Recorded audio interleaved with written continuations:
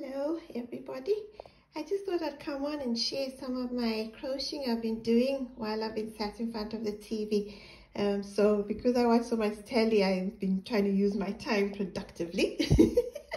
um, so yeah, I've been making some blankets um, that you can throw over your legs while you watch telly. And then this is my first attempt at a circular one. It's a work in progress. Not finished it yet.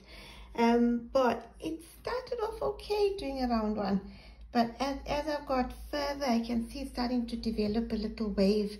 So what I'm going to do is just um, undo it up until the point where it's still flat and then keep trying. But I don't think it's bad for my first attempt at sewing round. So yeah, I will keep you updated.